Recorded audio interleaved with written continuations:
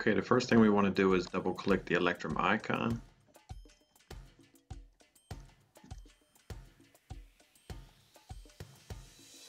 Once our wallet is open, we'll want to go ahead up to the Wallet tab, go down to Private Keys, go to the right, we want to click on Sweep. Now in this box is where we input the private key. Once the private key is input correctly, we'll be able to hit the Sweep button. So if you're solving a private key puzzle, you will know you have the private key correct once you can click Sweep. This is the address here where it will go into your wallet.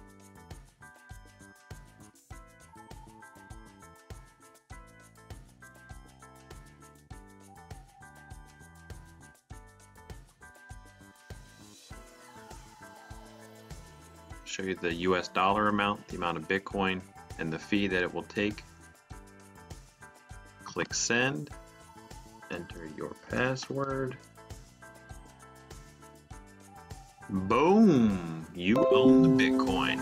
Good job, boys and girls. Good job.